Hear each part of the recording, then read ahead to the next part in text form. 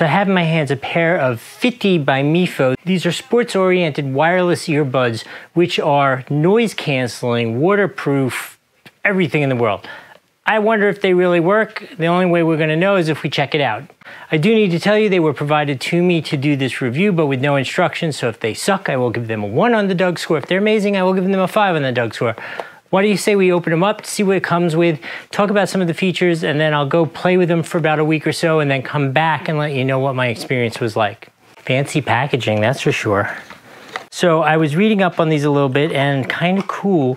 They're made out of like aircraft quality materials, like the same materials that Airbus uses to make planes and stuff like that. Sounds really cool. Ooh! Okay, this is a little thing, but the kind of thing that makes Douglas happy. Check it out, comes with cool green wire to match their branding. Um, couple different size ear pockets or whatever we want to call those. So here is the earbuds in the charging case itself. This charging case will charge them for up to 70 hours of playtime. So the earbuds themselves will have about a seven hour runtime and then you can always just put it back in the charging case. It'll recharge it. You got another seven hours, another seven hours, another seven, 70 hours you can pull out of this. I believe that would be 10 times you could recharge it. In any case, let's open it up, see what it looks like. Ooh, that's kind of fun. I like the little button. Watch this. That's kind of fun. These things are cool looking. So that's what they look like in the charging case. They're supposed to automatically activate themselves when you pull them out. I haven't set them up for my phone yet. Let's do that. A couple things you want to know. They are Bluetooth 5.2, which is the highest standard. You're going to get the best quality, the best range. They are IPX7 waterproof, so you can go running in the rain, all that kind of stuff, sweating them, play basketball, all those kind of sports. Don't go swimming with them. The noise canceling works for both phone calls and the music. It's active and passive. You have options of how you want to set it up.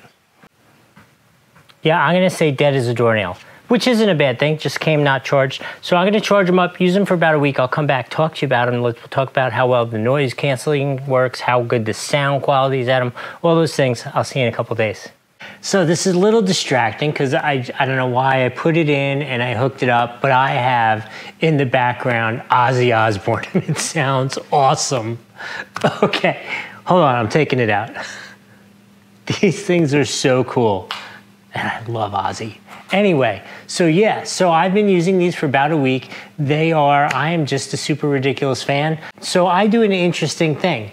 I actually listen to these at night in bed. My particular partner, the beautiful Miss Nikki, would not be a snorer officially on any level, but I can definitely say that the noise canceling gets tested sometimes um, and it really works good. So I actually have these in most of the night which allows me to attest to the listening time, right? Because I go to sleep and I wake up and I still have my music playing. So it's definitely good for that seven hours, no problem.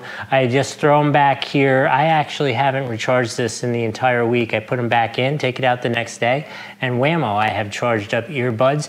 The bass is ridiculous for these. I've listened to a whole bunch of earbuds. I haven't gone for the crazy like $400 Bose ones kind of things, but all the normalish kind of things in this kind of range, this definitely the best bass of all of them. The audio quality is great. The noise canceling on both modes works really well for me. I have to say overall, and I, like I said before, I love the obnoxious green. So in any case, I'm gonna give these a full five out of five on the Doug score. And uh, I just wanna say thanks again, and I hope this was helpful. We'll see you next time.